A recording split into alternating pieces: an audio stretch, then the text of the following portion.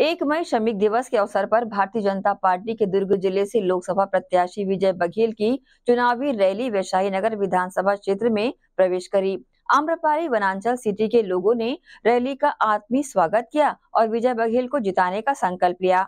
2024 लोकसभा चुनाव के लिए दुर्ग लोकसभा सीट से भारतीय जनता पार्टी के प्रत्याशी विजय बघेल का जनसंपर्क अभियान रैलियों के माध्यम से संपन्न होता जा रहा है। इसी कड़ी में एक मई श्रमिक दिवस के अवसर पर श्रमिक बाहुल्य क्षेत्र, वैशाली नगर विधानसभा क्षेत्र में भारतीय जनता पार्टी का जनसंपर्क अभियान देखने को मिला, जहाँ वैशाली नगर विधानसभा क्षेत्र के विधायक रिकेश सेन ने रैली की अगुवाई की और भारतीय जनता पार्टी के प्रत्याशी विजय बघेल को वैशाली नगर विधानसभा के कोने कोने में ले जाकर के लोगों से रूबरू करवाया।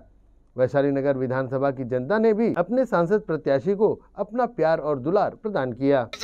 की लीड से अधिक जीतेंगे और ये विजय भैया का जो है वोट छोड़नी है ये विजय रैली है।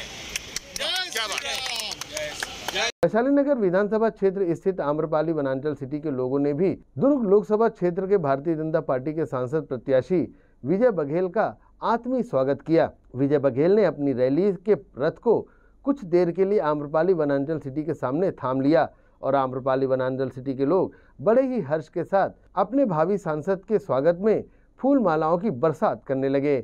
आम्रपाली वनांचल सिटी समिति के अध्यक्ष ने भारतीय जनता पार्टी के पक्ष में मतदान करने के रिकॉर्ड मतों से विजय बघेल को जिताने की बातें कही हैं। कड़ती धूप में चौवालीस डिग्री टेम्परेचर में भी मतदान में जो उत्साह है उसको देखते हुए कोई इसमें शंका का विषय नहीं है कि हम लोग हिंदुस्तान में भारी मतों से पूरे विजय भैया को जिताया जाए। क्या खास देखते हैं विजय भैया में क्या खास देखते विजय भैया एक अंतर्मुखी सरल स्वभाव कैसे व्यक्तित्व है?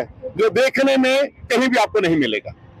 मुद्दे क्या रहेंगे इस चुनाव में? आप तो व्यापारी है गृहिणी भी आपके साथ है तो मुद्दे क्या रहेंगे? किस मुद्दे पर वोट डालेंगे इस बार? इस पर मुद्दा अपने आप सारे सॉल्व हो जाएँगे। इस पर मुद्दा नहीं है इस पर देश को विकासशील से विकसित बनाने के लिए मुद्दा है। जो कि मोदी जी के साथ में हाथ मज़बूत होंगे तभी ये कार्य हो पाएगा।